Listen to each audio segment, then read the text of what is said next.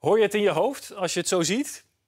Ik had het best even willen opzetten, maar dan krijgen we een gepeperde rekening gepresenteerd.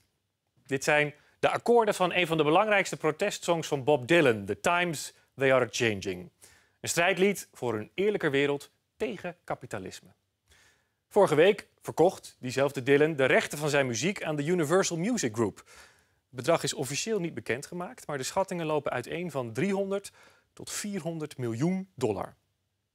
Dylan en de Universal Music Group zijn zeker niet de enige. Er zijn meer artiesten die best afstand willen doen van hun auteursrecht, als de prijs maar hoog genoeg is. En zeker in een jaar waarin een belangrijke inkomstenbron voor artiesten is opgedroogd. Optredens. En investeerders met diepe zakken zien in die rechten ook wel brood. En dat komt door streaming. Spotify, Apple en andere muziekstreamingsdiensten die hebben de klappen die de muziekindustrie de afgelopen jaren heeft moeten verwerken, voor een groot deel goed gemaakt. En hoe groter je muziekcollectie is, hoe meer geld je kunt verdienen met streaming. En daarom azen die grote investeerders op de rechten van vooral de grote hits.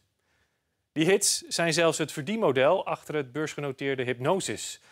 Dat bedrijf heeft de rechten van duizenden top 10 hits verzameld. Meer dan 2000 nummers uit de collectie zijn ergens ter wereld wel nummer 1 geweest. Het heeft bijvoorbeeld de Chainsmokers, de Kaiser Chiefs, Debbie Harry en Barry Manilow in portefeuille. En wilde ook maar wat graag Dylan's liedjes hebben, maar greep ernaast. De gedachte is dat die hits massaal gestreamd blijven worden, zelfs als het jaren geleden is uitgebracht. Sterker nog, de top van, topman van Hypnosis zegt dat de gestreamde hits een voorspelbare en betrouwbare inkomstenbron opleveren. Het is zelfs een soort goud of olie. Om je een idee te geven, hier zie je wat Living on a Prayer, hit van Bon Jovi, in de afgelopen tien jaar heeft opgeleverd.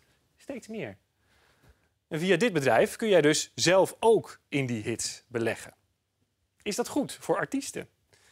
Voor gearriveerde namen met een bewezen track record wel. Bob Dylan heeft een oeuvre waar veel naar geluisterd wordt. En dan hou je best wat over aan streaming. Als je door je rechten aan een investeerder te verkopen dat bedrag in één keer te gelden kan maken, is dat voor hem lekker. Zeker als je bijna 80 bent. Voor nieuwe artiesten wordt het moeilijker. Zij klagen juist over de inkomsten.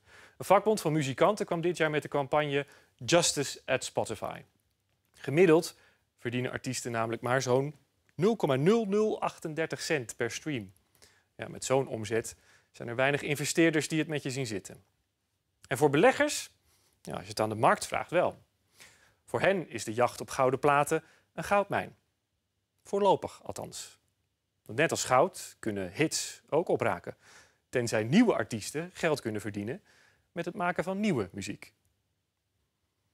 Vond je dit een interessante video? Download dan de app van RTL Nieuws, want daarin vind je elke dag een nieuwe aflevering van Z zoekt uit.